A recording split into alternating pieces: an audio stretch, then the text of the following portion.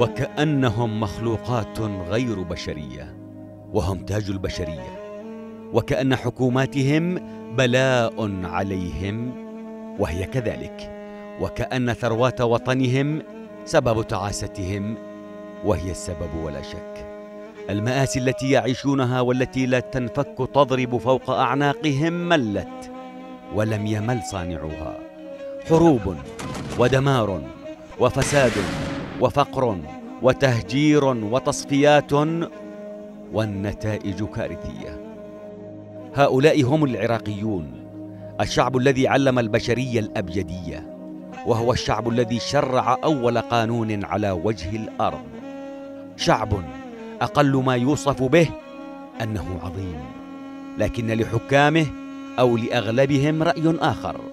فهم لا يرون في شعبهم أكثر من بصمات إبهام توصلهم إلى عرش السلطات التي يمارسون أساليب الجحيم على رؤوس هذا الشعب المظلوم.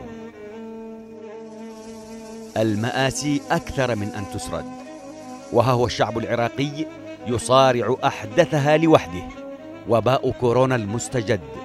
فالمسؤولون قرروا أن يتبعوا سجيتهم السيئة مع شعبهم كما هم دائما.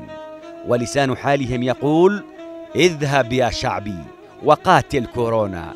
إنا بنهب ثرواتك منشغلون. مت بكورونا أو بغيره فهذه مشكلتك. هذا هو واقع الحال في العراق. هاي الغرفة ذني الأسرة هذا طبعا كله جبناه من البيت. المواطن مكلوم أو مظلوم. والمسؤول ظالم أو ظلوم. من يصدق أن وزير الصحة العراقي أرهق من كثرة المطالبات للحكومة بصرف نحو خمسة ملايين دولار فقط لمواجهة وباء كورونا القاتل. ومن يصدق أن الحكومة لم تكلف نفسها حتى عناء الرد أو الرفض.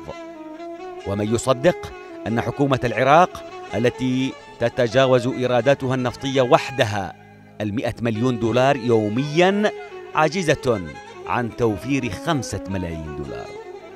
كورونا القاتل يحصد أرواح عشرات العراقيين حتى اللحظة ويتمترس في أجساد المئات ويدخل العراق من كل المنافذ والحدود المفتوحة على مصراعيها وينشر الرعب في كل ربوع العراق وهو يعلم علم اليقين أن ردود أفعال الحكومة تجاه شعبها من صمت وإهمال ولا مبالاة هي الأمر الأكثر رعبا بالنسبة للعراقيين.